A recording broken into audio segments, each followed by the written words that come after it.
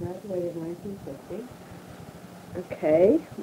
Um, do you remember what clubs were offered during the years you went to school? Well, I can remember some of them. I know that I had Squad Leaders Club that I was in, and I was in Ushers Club. That was for only girls. I don't know that they still have it. What they do? And I was in a photography club when it was just started up by Coach Mooney. It was very small. We had very small. There was probably about six of us in it. And I don't know whatever. That's about it as far as the clubs that I can think of that I was in. Do you remember what the most popular clubs were? Would Oh, you would well- you explain what sub debs are?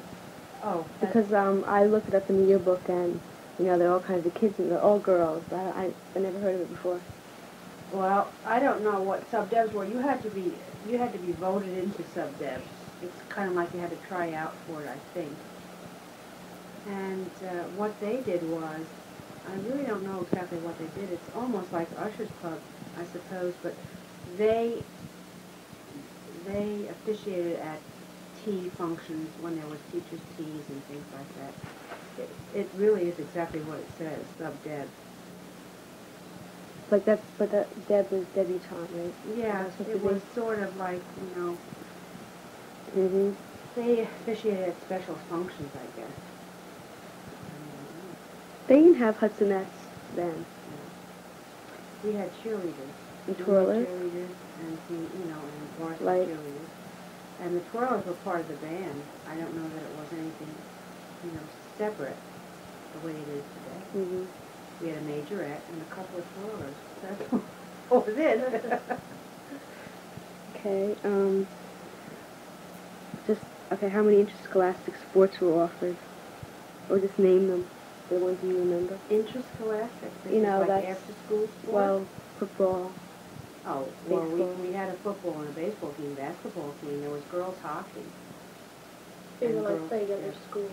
This is what plays other schools, well, the only sports that we really had was the football season, basketball and baseball season, there was no soccer. And, uh, just the girls hockey really played, and basketball. Well, what did the boxing club do?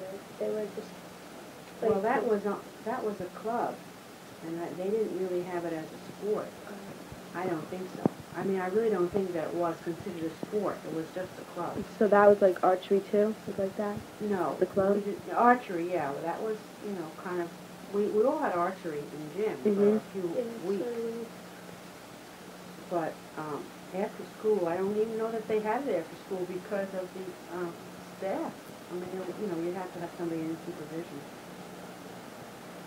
Okay. Um. Were any of the athletic teams successful? Oh, yes, very. Don't forget, I was in there, and, you know, when you go to school, every year is a successful year because everybody is into sport. We had a very good football team one year. Uh, Nelson McCollum was on it, and, oh, Mr. Mean, you know, practically all of Hastings, I can Mhm. remember. We had an exceptionally good football team. We had a very good baseball team. Mr. Cliff was an exceptionally good pitcher one year. More than one year, but, you know, these are the two years that I I can remember. And we always had very good turnouts for our sporting events. Okay. Um. What was the dress like in the 40s to 50s? Well, pleated skirts, bobby socks, dickies, and many times you would wear a bow around your, you know, under your dickie Uh huh. sweaters. Dickies meaning just little white Peter Pan dickies, not, not, you know, the whole, not a whole blouse. Not a turtleneck No, oh, or whatever. turtleneck. What about the guys? Oh, letter sweaters. Yeah, we, of course, to have a sweater, know, and quite often polo shirts were in, you know. The fellas, I don't pay too much attention to the fellas. They just wore their good old normal trousers, certainly not jeans. No? No, everybody had Peg leg. Very tight, you know, the tight fitting ankle pants, but they Mhm. were pressed. And, uh, What about the high school ring? What about them? high Every- school. When did you get them? get them? No, you're talking in your senior year. Back in your senior year? Was it like popular ever? Oh, yeah, everybody, I mean, then you could afford a high school ring, you know, now. Was it fifteen dollars, right, or something? I don't know what it was. That's what We we didn't have a tremendous choice. We either had a, we either got an, an onyx or, uh, or metal, or, or something like that. It was either an onyx or just a metal one, with the school on it. So there was two choices of styles, that was it.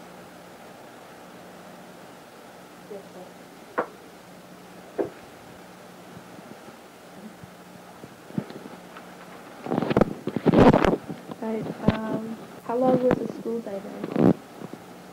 The school day was from eight thirty, quarter nine, I think, was the very latest, was twenty of nine to eight, to two thirty-six was when the bell rang. We had three minutes in between classes. And you had to show up on time. And, um, was there a student union? Yeah, we had GO, GO? called General Organization. We had a general organization president and vice president and so on and so forth. Were they effective? As far as I know, they were. I mean, everybody bought GOs then because sports were very important. Did you have GO cards? Yeah. And, you know, you really used them. We really used them all the time because uh, everybody was more or less involved in sports and, and or to a dance.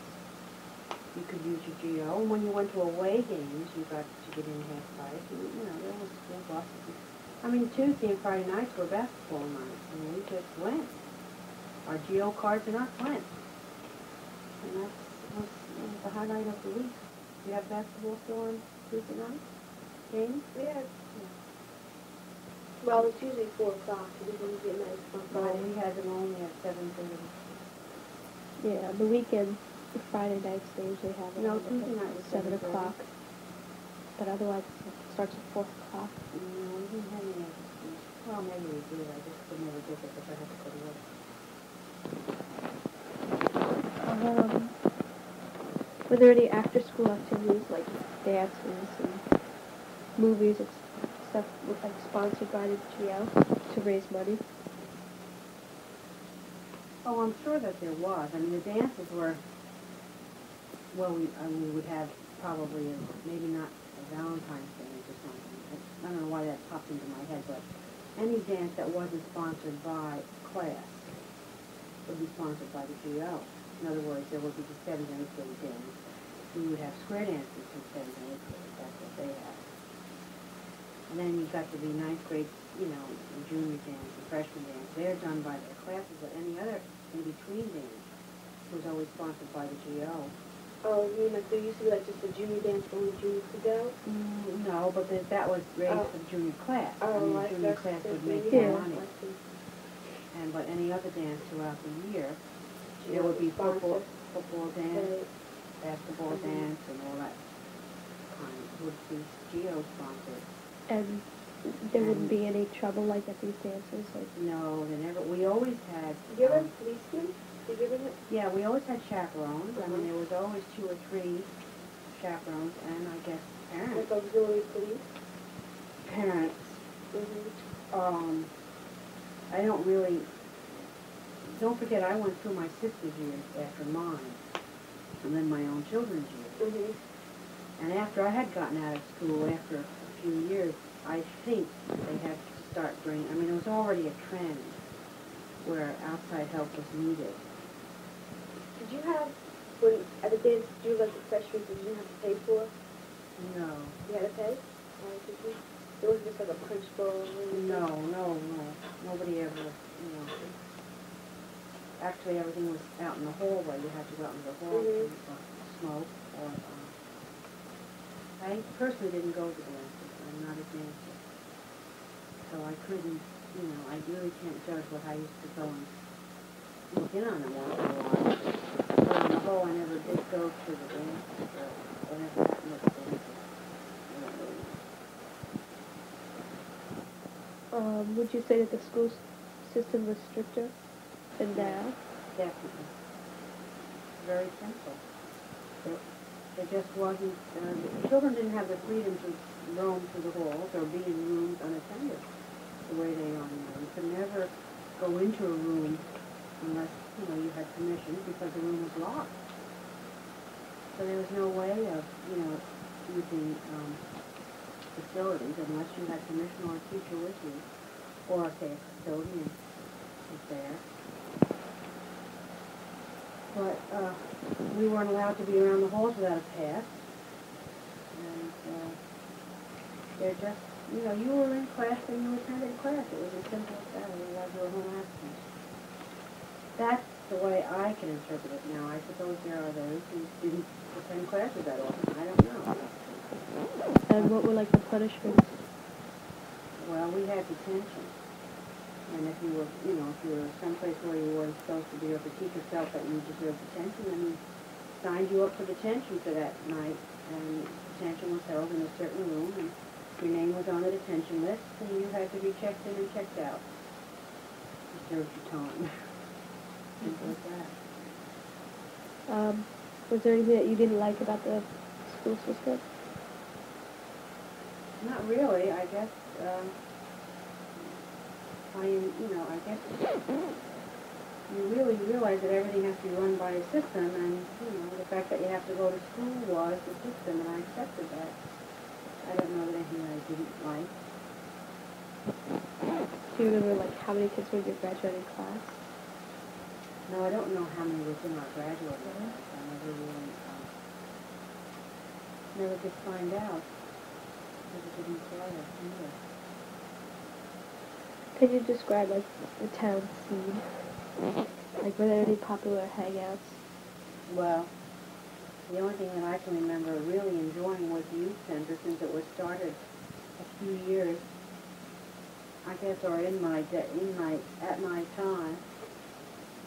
And it was a very pleasant thing to be able to go down to youth center two or three nights a week.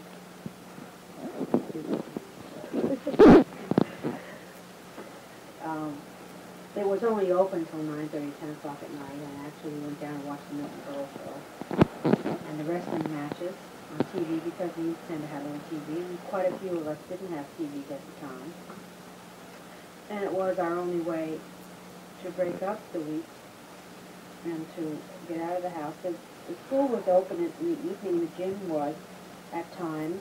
Uh, recreation had things going on, but on a whole, it, um, the kids who you really wanted to be with, the children your own age, were really probably down to youth center. Most of the younger kids were at the gym horsing around. And when we go down to youth center, we could uh, play ping pong. And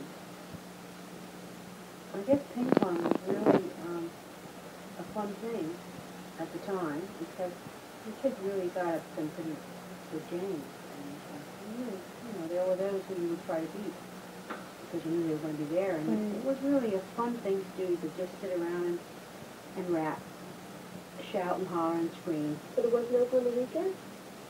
Didn't need to be open on the weekends because everybody had fam, you know, you had things to do on the weekends. Most of the time it was open.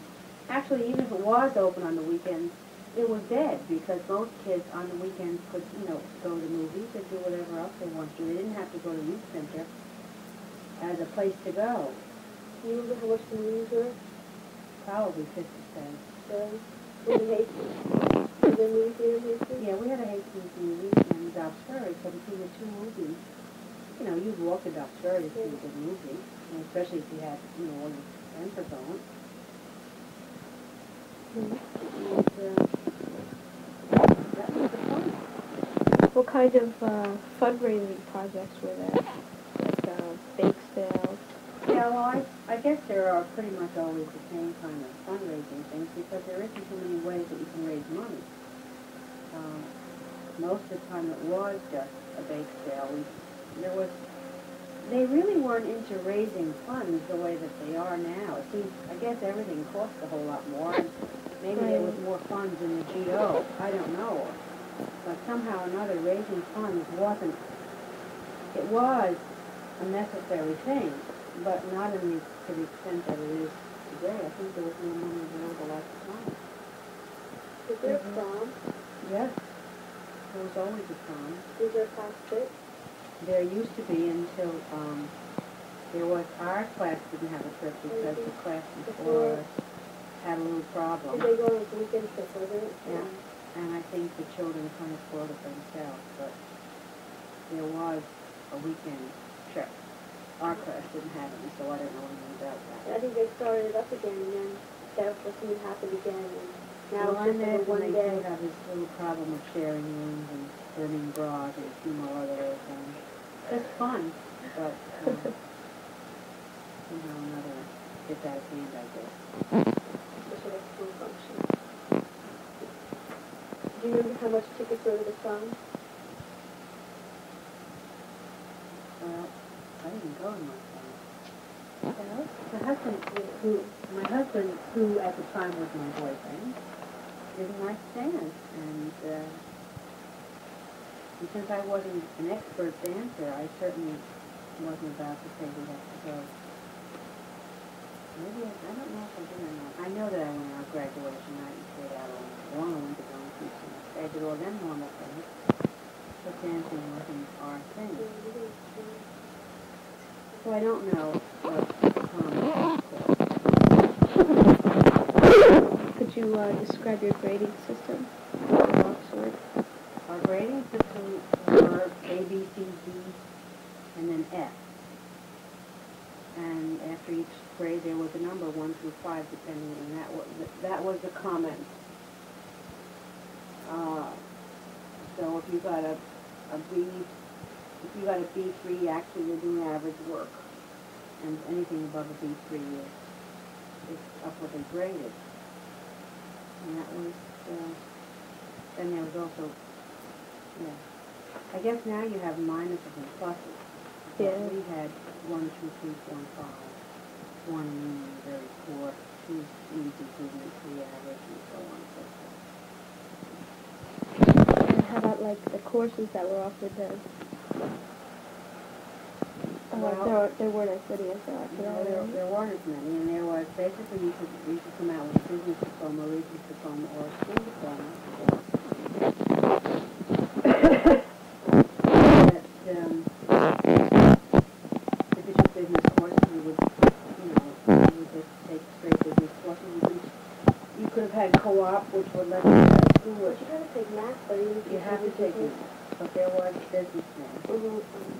You didn't have to get into the, um, you know, the other, like I, I never went, uh, I took business math, I've never, I've never had, oh, you running out of paper? Algebra or what have you, you know, I've never gotten into, uh, fancy.